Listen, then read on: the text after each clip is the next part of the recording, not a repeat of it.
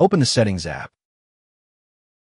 Then swipe down and click on Privacy and Security. Then click on Location Services. Then click on Camera here. Then set Allow Location Access to while using the app. Then toggle on Precise Location option. Then open the Photos app. Then, open the photo you have taken after turning on Location Services. Then click on Share button on the bottom left. Then from the apps, select Gmail. Then enter the email address of the other person.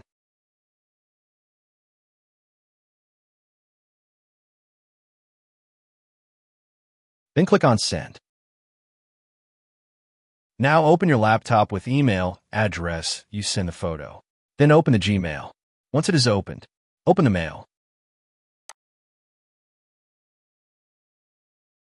Then click on Download button to download the photo. Once it is downloaded, click on it to open it.